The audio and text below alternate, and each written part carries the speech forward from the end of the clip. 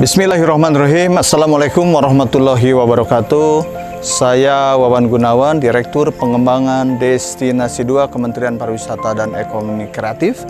Hari ini saya berada di Taman Nusa, destinasi di Gianyar, Bali, mengucapkan selamat dan sukses atas penyelenggaraan akselerasi pengembangan desa wisata Sulawesi Tenggara yang akan dilaksanakan pada tanggal 30 Maret sampai 1 April 2022 bertempat di Desa Wisata Wabula 1, Kabupaten Buton, Provinsi Sulawesi Tenggara.